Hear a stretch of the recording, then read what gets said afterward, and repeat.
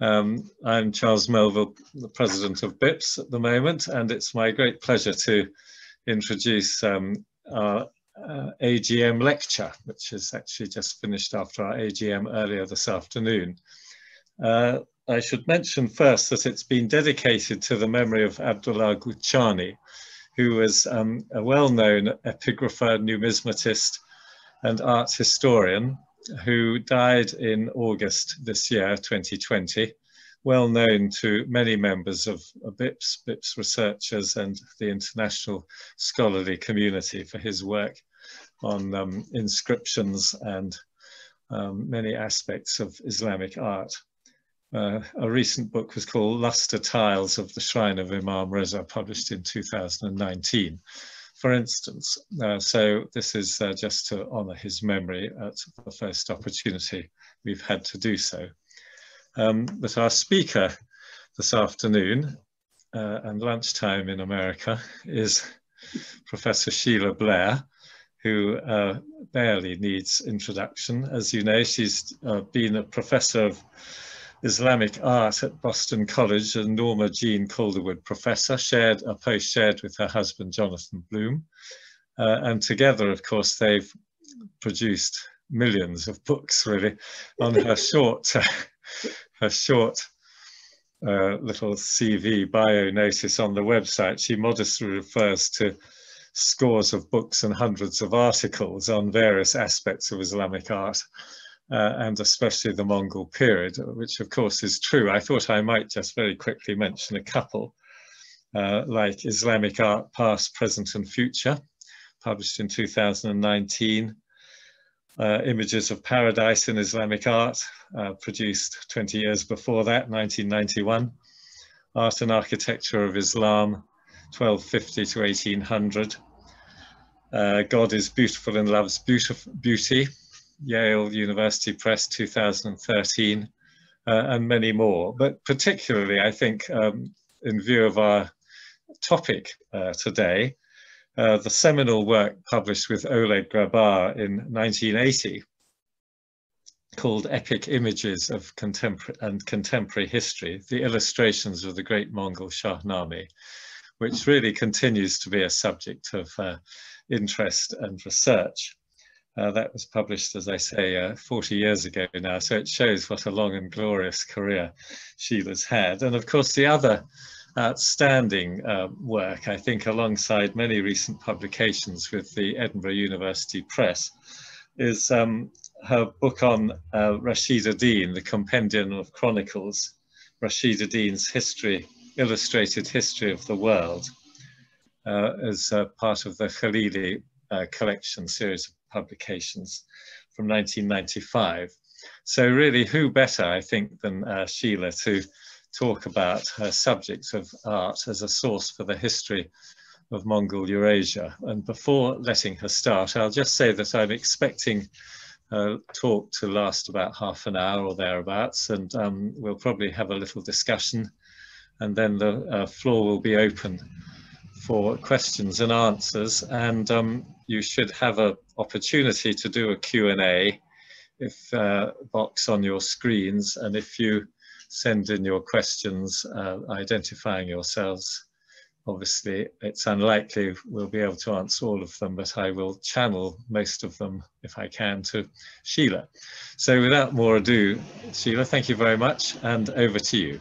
Well, let me first thank Charles for inviting me, to Sylvia for setting this all up, and for all the participants who are here today. My topic, as you see, is art as a source for the history of Mongol Eurasia. As you probably know, the Mongols assembled the largest contiguous land empire ever known, stretching from the Sea of Japan all the way to the Euphrates. That's territory about the size of Africa. It was united as one um, ulus under Chinggis Khan, but after his death in 1227, it was split among four uh, of his descendants into four collateral lines.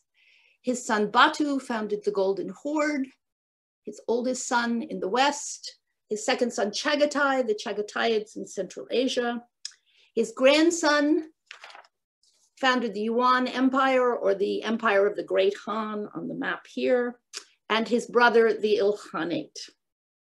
Now, the traditional view of the Mongols is barbarians and savages, probably because most of the history of the Mongols was written by the people whom they had conquered. So this view was already current in the 13th century, epitomized in the uh, account by the Benedictine monk Matthew of Paris, where you see this wonderful scene here of cannibals, uh, Mongol cannibals. His account mixes plentiful legends, speculations, but also some accurate facts. And even the depictions contain some accuracy. Note the hat here. We're going to see more of these kinds of hats. And I even wonder if this is supposed to be lamellar armor over here, something else that the Mongols used.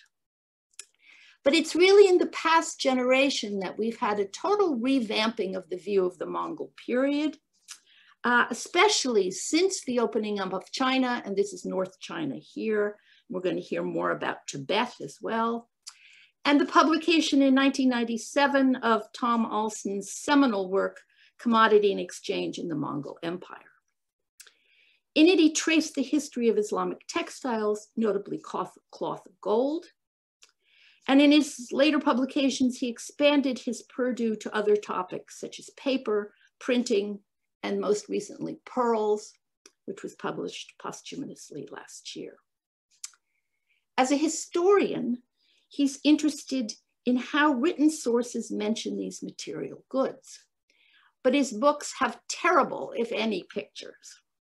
And what I'd like to do is take his arguments one step further here and show how the design, production, and decoration of these objects enhances and sometimes complicates our knowledge of this transcontinental circulation of commodities, ideologies, technologies, and peoples across the Mongol domains and beyond to Europe and East Asia. Now, over the past generation, scholars, oh, I would say beginning with Linda Komaroff and Stefano Carboni in their seminal exhibition on the legacy of Genghis Khan, have managed to piece together this material culture of the Mongol court across Eurasia. And to do so, you really need to draw on a variety of sources, both extant objects and contemporary depictions, as well as texts describing them. Now, the best depictions come from Iran. So that's why we're having this as a lecture now. These are pages from Rashid ad-Din's History of the Mongols, now detached and mounted in albums in Istanbul and Berlin. And you see a double page from one of them here in Berlin.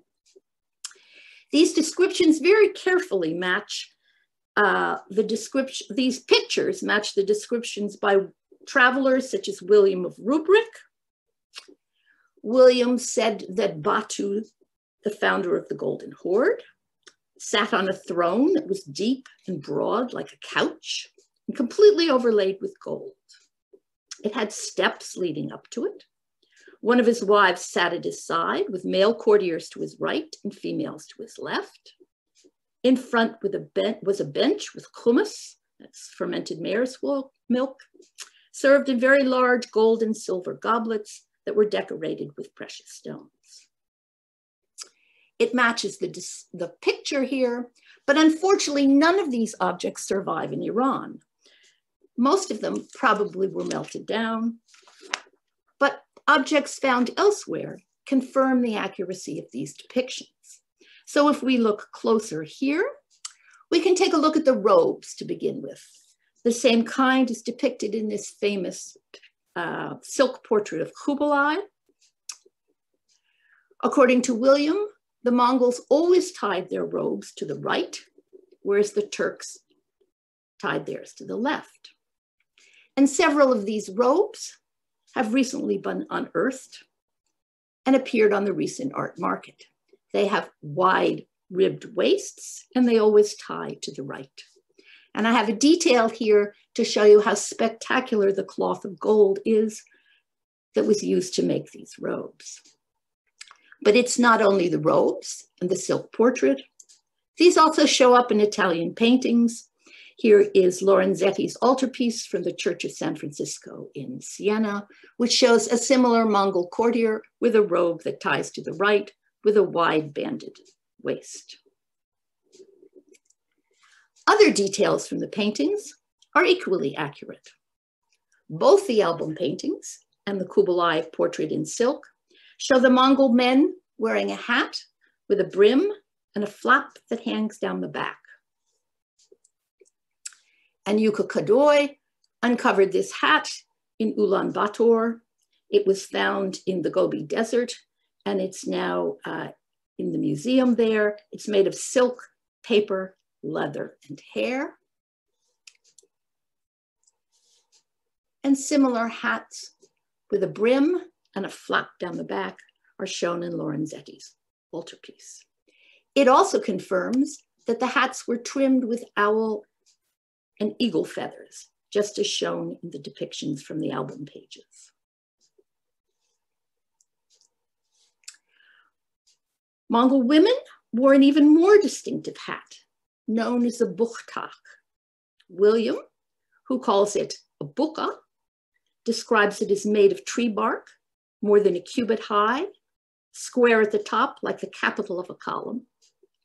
It was hollow inside, he said, and covered with silk cloth and extended at the top with feathers. It's long been known from Yuan portraits, such as this one of Kublai's wife, Chabi. But examples recently found and now on the art market, or this one's now in Doha, bear out the physical reality. This one measures almost a meter tall when intact. It had a column shaped frame with a bark cloth covered by gold cloth that was cut in the shape of a hat. The hat was attached with another hat, which had a hole in the middle and this long column stuck up almost a meter over the head. It was further adorned with feathers and metal spires, pearls and gold jewelry. So these ladies were really decked out. Like individual examples of dress, we can, we can follow other accoutrements of the court. The Mongol couple often shared stemmed or handled cups. None are known from Iran, where they were probably melted down in times of need. But several examples in both gold and silver have been excavated at the Golden Horde capital Sarai Berke, and some have also recently been found on the Mongolian or Kipchak steppes. We can trace other accoutrements as well. In several scenes, the attendant is shown wearing uh, or carrying a rounded bag with a flap. And for those of you, there he is carrying, there she is, he carrying the flap. For those of you who watched The Crown, I can only think of Margaret Thatcher clutching her handbag. Examples of such bags made of leather over bamboo, wood with metal mounts were a specialty of Wenzhou on the south coast of China. They were typically decorated with auspicious animals. And like the silk robes, such coffers have recently turned up on the art market, supposedly found in Nepal, where they were brought by refugees fleeing from Tibet. These lacquered boxes may in turn have been the prototypes for smaller metal ones made in the Ilkhanate. The example on the left here, the inlaid metal coffer, is one of the finest inlaid brasses to survive from the Islamic lands. Acquired by the European collector Thomas Gambier Parry in 1858, perhaps in Northern Italy. It has only recently been the subject of, a of an exhaustive study such that it can be localized to Mosul around 1330. While the shape is similar, the scenes of auspicious animals on the lacquer prototypes have been replaced on the metal bag with depictions of mounted huntsmen on the front and the back, and by 14 smaller roundels with revelers, all of them wearing turbans and you see someone here playing the equivalent of a tambourine. Album il illustrations document other shared Mongol customs as well. This scene, identified by comparisons with later manuscripts, shows Hulagu, the founder of the Ilkhanid line, attacking Alamut, one of his major victories in subduing Iran. And I think you can all by now tell he's a Mongol. He wears a robe that crosses to the right. He has a hat with a flap in the front, uh, a brim in the front and a flap in the back, trimmed with feathers. He's under the royal parasol, and the horse in front carries his royal stool. But what's interesting about this depiction is that ahead of him is an envoy, identified because he carries a paiza, a passport or self-conduct pass. Contemporaries describe it as a tablet of authority made of wood, silver, or gold, and embellished with a tiger or gyrfalcon at the top, depending on the rank and the importance of the holder. It's carried typically by an ilchi, an envoy traveling on official business. And one might note here the pointed hat on the ilchi, exactly the same kind of hat we saw on Matthew of Paris's illustration at the beginning. Marco Polo was particularly in, uh, impressed by this system of postal communication, and he describes how travelers could go up to 200 miles a day using this postal network.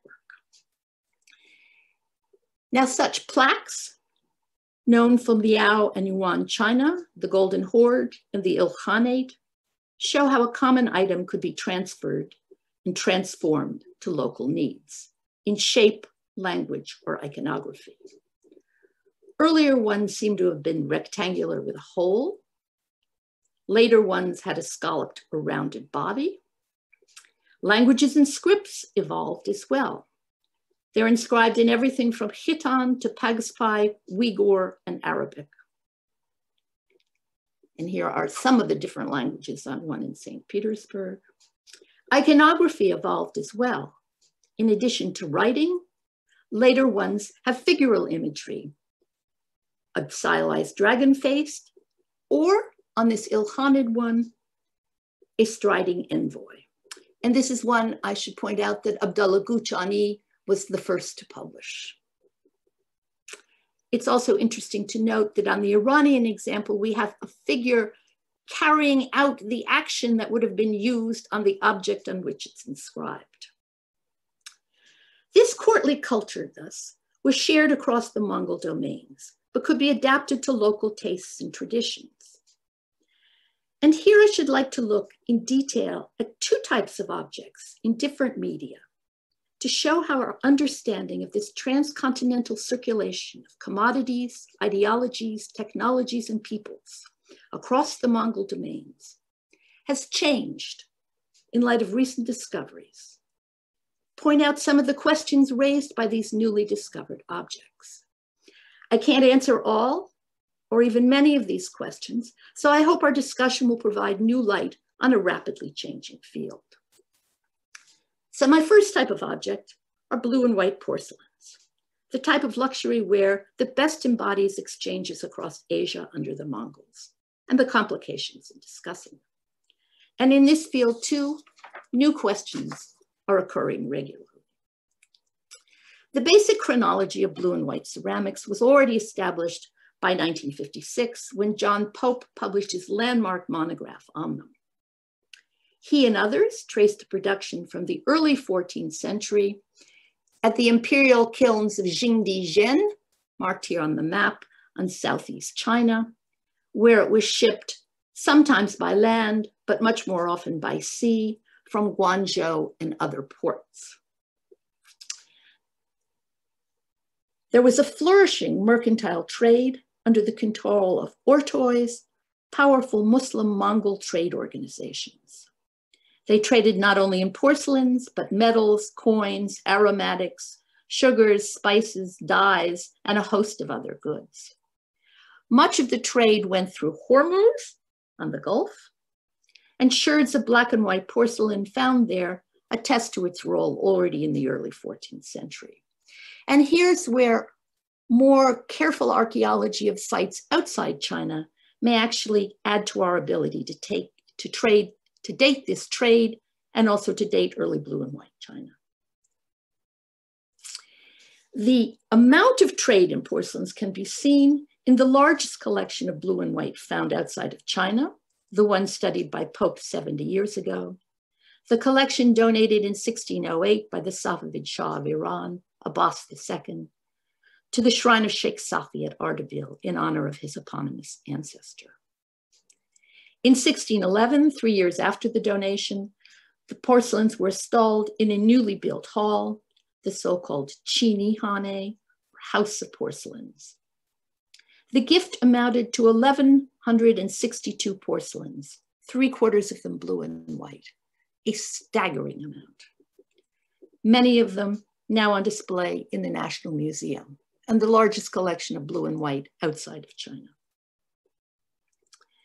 The form, layout, and painting of these early blue and white porcelains confirm that many of the earliest wares were made specifically for export to Iran.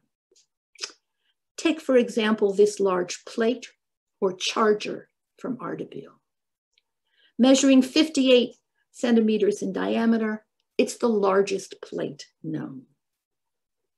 Its shape makes it suitable for the serving of communal food, a typical custom in West Asia, but not in China. The decoration around it is arranged in concentric circles. Again, not something typical of Chinese wares, but often used on Iranian ones, as on this contemporary inlaid brass tray.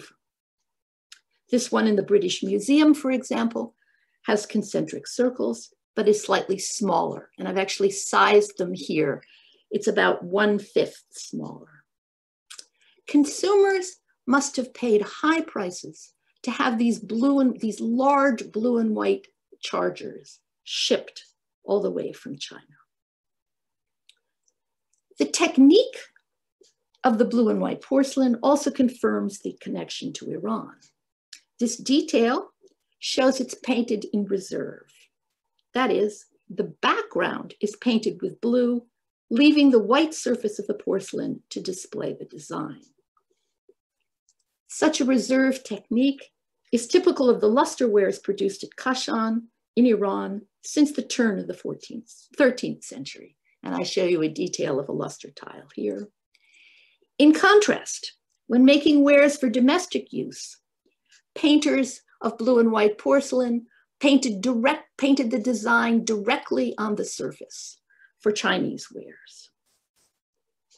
Such direct painting uses far less cobalt, an expensive material that itself was imported from Qamsar in Kashan, the site where the luster wares had been produced since the 13th century.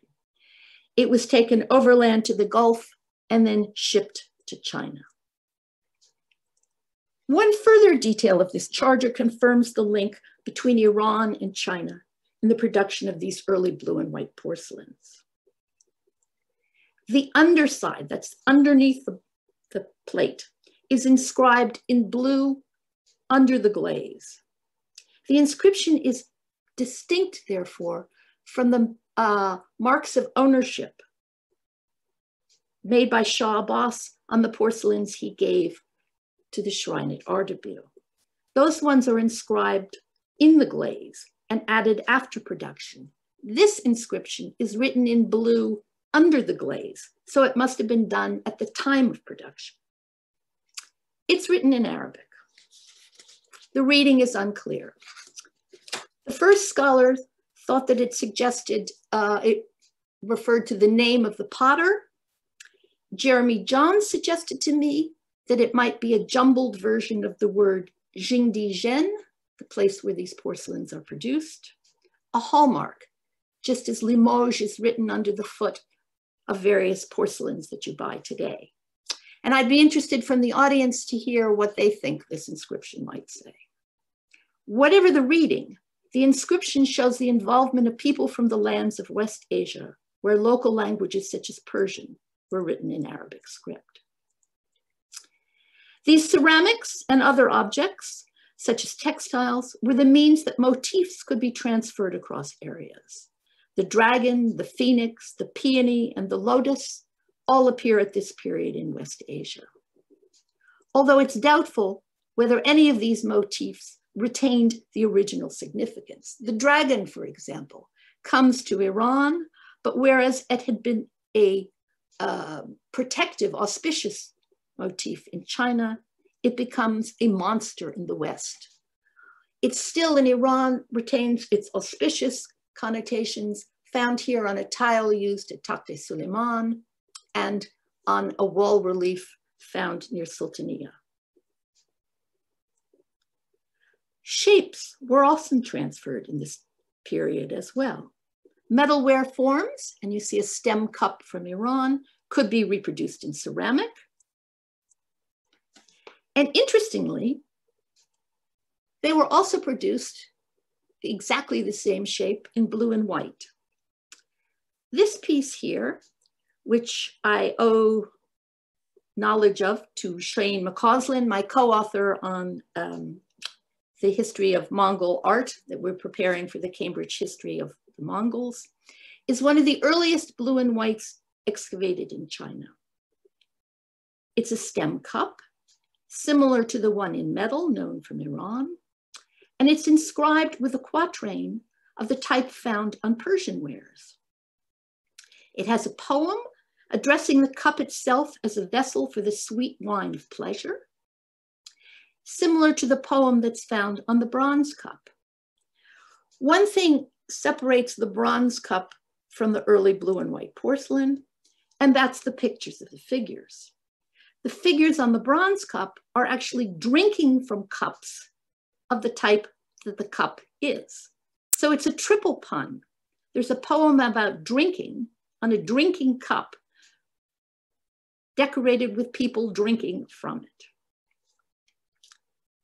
All of these objects then show the active trade across the Mongol lands, both east to west and west to east.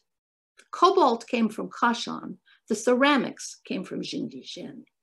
And the movement of people and ideas resulted in an active movement. The result, the, sorry, the movement of people and objects resulted in an active movement of ideas. The second type of object I'd like to look at quickly here is the knotted carpet, because its diffusion illustrates other aspects of commodity and exchange in the Mongol period. A small group, dating to the late 13th or 14th century, were preserved in Anatolia, from which a few have been spirited away. So I show you one that's still in Anatolia and one that's been taken to Europe. These early Anatolian carpets have a central field with geometric designs surrounded by a border with pseudo-Kufic inscriptions. Having scoured Anatolia, it does not seem that many more will be found. But recently, a different type of carpet with a, uh, with a similar border, but a different design in the field, have come to light on the art market. Most of them probably from Tibet. And these are the group known as animal carpets. This small one, for example, was purchased by the Metropolitan Museum in 1990. It's said to have been discovered in Kathmandu during the 1980s, and a Buddhist monk had reportedly saved it from a Tibetan monastery. So it's the Chinese occupation of Tibet that seems to have caused a whole slew of objects to have come out on the art market. It's similar to this much larger one, recently acquired by the Museum of Islamic Art in Doha. It too has, was reportedly from a Tibetan monastery, a suggestion confirmed by the amount of wax impregnated into it that was uncovered during conservation. Such waxy residue is typical of, of textiles and carpets from Tibetan monasteries, which were once illuminated by thousands of yak butter candles. And I would also say that the condition suggests that it had been stored folded. To judge from their designs, some of which can be documented precisely in Ilkhanid painting, and Charles, you'll be happy to see I'm still interested in the great Mongol Shahnameh, uh, my first publication, my first major publication. Years ago, Richard Ettinghausen pointed out that the design on this carpet showed an animal And you see it here in a detail and in a drawing there. And it's very similar with its raised foreleg to the same kinds of animals that are coming up on these carpets now. Such animal carpets must have been exported to Europe as well, for they show up in 15th century paintings down to the raised foreleg. The carpets were thus a valuable commodity. They appear usually under the feet of the Virgin, but they appear in Italian painting only a century after they were presumably made. Does the time lapse indicate they were restricted to courtly use in Iran and only exported decades later? Did it take time to create market and a taste? Both of these, all of these animal carpets, both the surviving ones and the ones seen in Italian paintings, typically have borders of stylized Kufic script. Similar carpets with a central field surrounded by a border of stylized Kufic script were exported to the East as well, specifically to Japan. And a group of 21 were used to decorate floats at the annual, at the annual Gion Festival in Kyoto. And I just show you here the typical festival, and here two of this group of 21 that are now in Japan. They have similar pseudo-Kufic borders, but their fields, that's the center of the carpet, is very different. They have Chinese motifs, such as a prunus branch or two lions playing with a ball. Dated initially to the 18th or 19th century, they've recently been redated to the 14th or 15th. A redating confirmed by a carbon dating of one in a private collection, which has a similar Kufic border and a geometric design, and can be dated on the basis of tests to the 14th or early 15th century. This group of carpets from Kyoto then document not only that some knotted carpets were produced for the East Asian market, but they also show the value of regional, sometimes unexplored sources. These carpets also raise many questions. If they were indeed woven in Mongolia, were carpet weavers transferred there from Northwestern Iran? We know that the Mongols often transferred workers. Do these carpets document a similar transfer of carpet weavers? The 21 Kyoto carpets also form a coherent group. Most are about two meters long and they share a small repertory of scenes. If they were made as a group, who were they made for? A third question, how was the taste for these carpets created? The export of animal carpets to the West suggests that it took a century to, trans to create a taste. And finally, these Kyoto carpets raise questions about when they were transferred to Iran, uh, to, sorry, to Japan. James Watt suggested that they were possibly taken from Yuan armies during the abortive invasion of Japan in the 1270s. But this date is much too early for the prototypes from northwestern Iran date only from the mid to late 14th century. So what earlier times might have been later? To conclude, many of these artistic innovations were not necessarily produced by or even for the Mongols themselves, but it was under Mongol sovereignty in the 13th and 14th century that a climate developed to accept and even desire new and different features, ranging from individual motifs to designs and elements of style. Visual sources, in the, senses, in the sense of objects and buildings, help to map the mental space of the period. These works are the result of increased commerce and the availability of models, but they also reflect a taste ready to accept the new and different, a taste established in the Mongol period and evidence of people, objects, and ideas on the move. Thank you.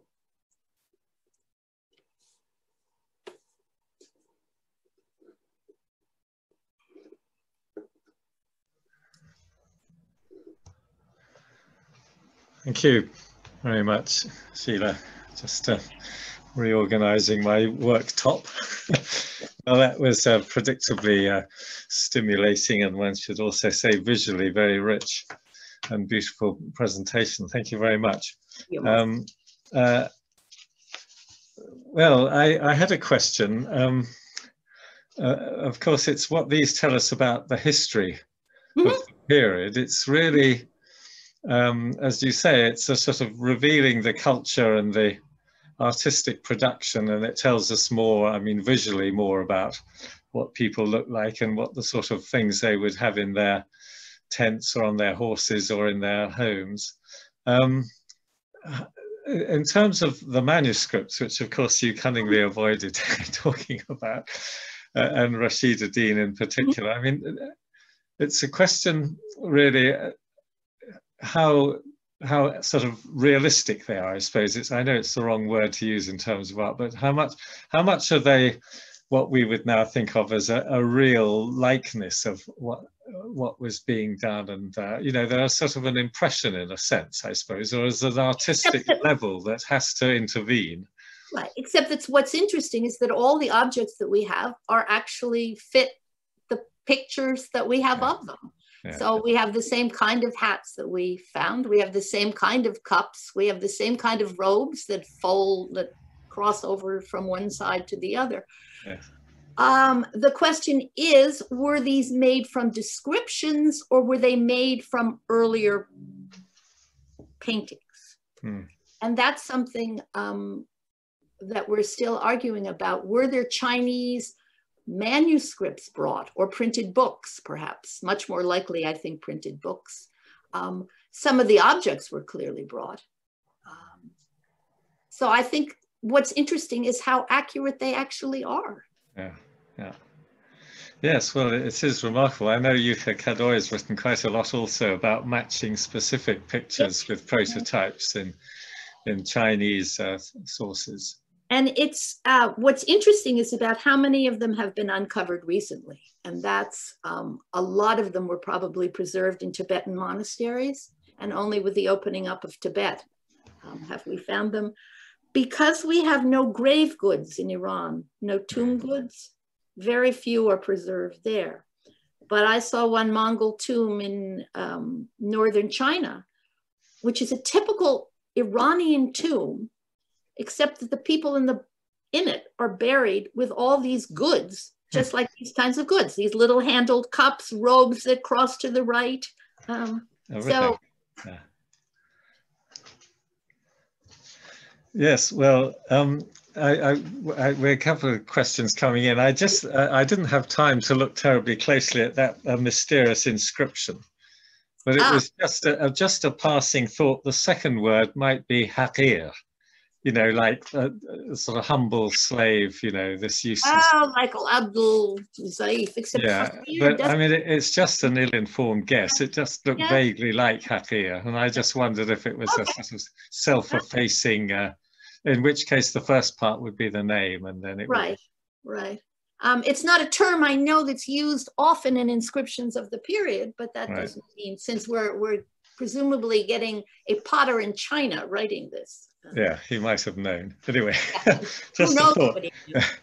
right. Well, uh, we have a question from Isabel Miller. Mm -hmm. um, if the designs on the porcelain seem to indicate they were made for specific markets, Mm-hmm. Perhaps the mark indicates the destination rather than the place of origin. Oh, interesting. Yeah, and she mentions that, that yeah. porcelain's used as ballast. Of course, they could have uh, had different. Um, I don't. I don't think they could have been used simply as ballast. These are much too expensive wares. These had to be um, either commissioned or ensure sure of finding a ready, a very very well heeled market at the other end. Yes.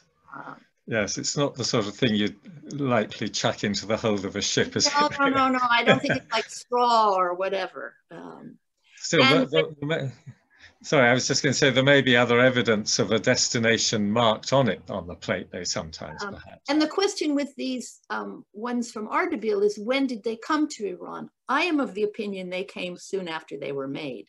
Hmm.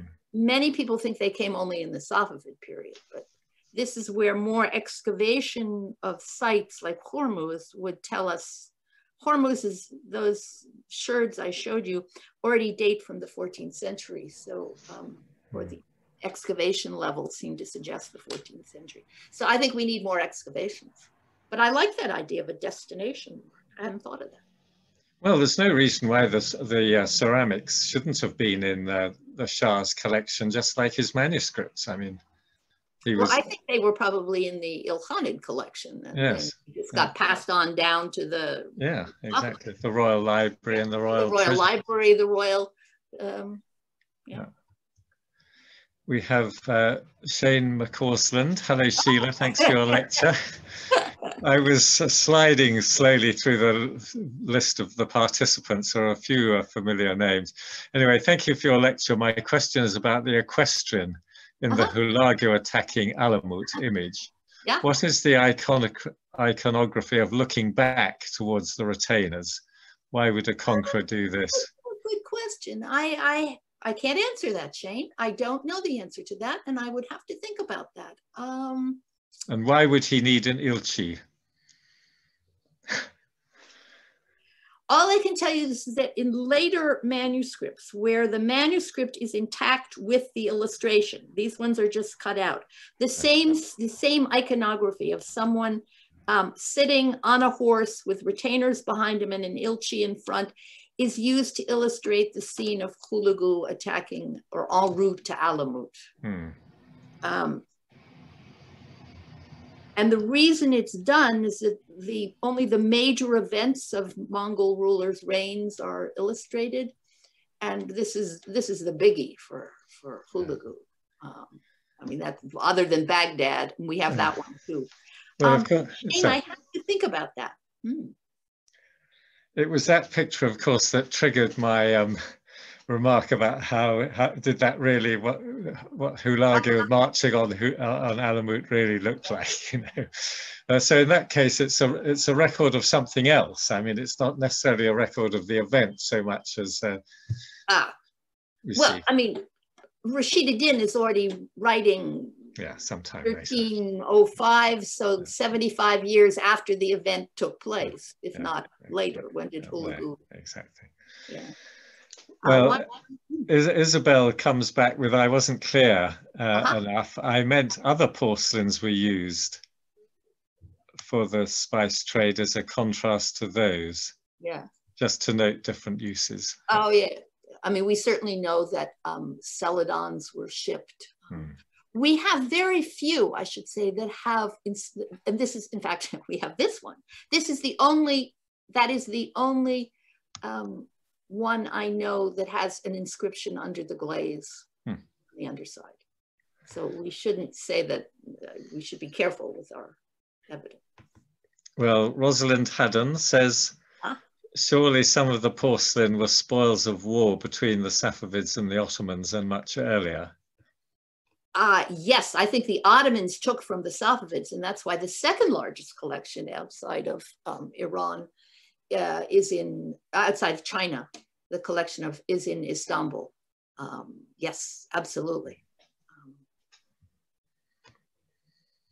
right, we're low on any more questions just at the moment. Wowed them all. They have to go home and think. They have to go home and They're all tired. Of they course, need a drink and I need my lunch. yes, exactly. There may be uh, people watching on uh, live as well as the various ways of looking at this. And of course, it's always being filmed anyway, so there'll be a chance to look at it again. Well, I, I think you've earned your lunch uh, Sheila, and, uh, and I hope Jonathan has run off now to. I think he's already departed. Yes. Boil the soup up, yeah. Yes, so exactly. anyway, well, that was that was terrific, and uh, and uh, had a very good audience, uh, a hundred over a hundred people watching, so that's excellent. Uh, thank you very much. And is this going to be published or is it just sort of work in progress that's going to go into the book? Well, Shane and I um, pu are publishing, about to come out, we hope, this chapter on art for the Cambridge History of the Mongols. Yeah. Um, which I'm sure you are contributing to. Well, I've just been wondering when that's ever going to appear. when it's going to come out. And also for the other history of the Mongols, the Routledge history of the Hmm. Mongols. The Mongols are in, I would say. They are. They're still in, you could say. They've never really been at. Uh, there's a question from Facebook, uh, but I'm not sure that I can access that.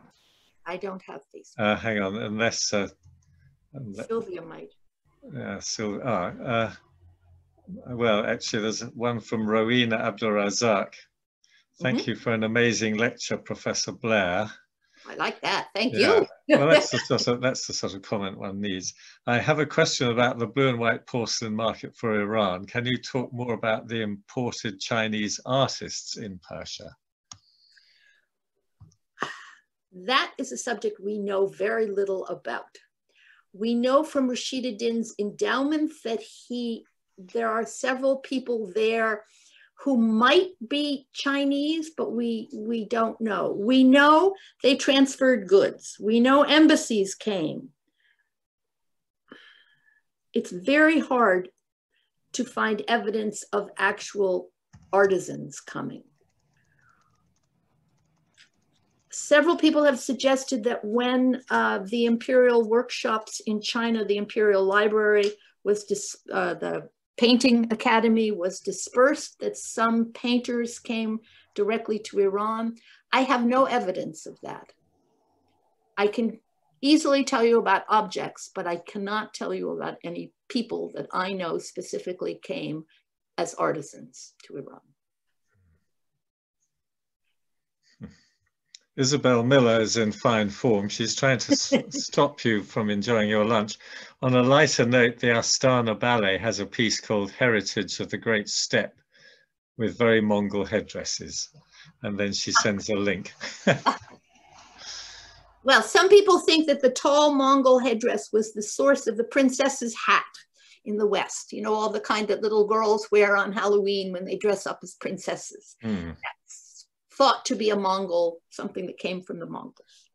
I've always wondered, incidentally, I mean, uh, just uh, wasting time really, that, uh, or you mentioned the height of the thing. What Does, do we know what the weight was? Because it must have been quite a business. No, and I, I should ask them in Doha because they actually have this one now, but you have to stuff it.